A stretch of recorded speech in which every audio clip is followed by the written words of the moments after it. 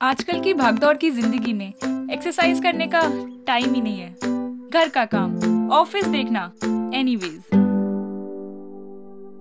Mummy जी की चाय? Done husband का नाश्ता?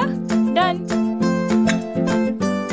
छोटी का जूस डन अब ऑफ़िस के लिए तैयार। और मेरे स्लिम और फिट रहने का राज? Zero tone thanks to zero tone मेरे सारे काम डन लाइफ बना दे ज़ीरो टोन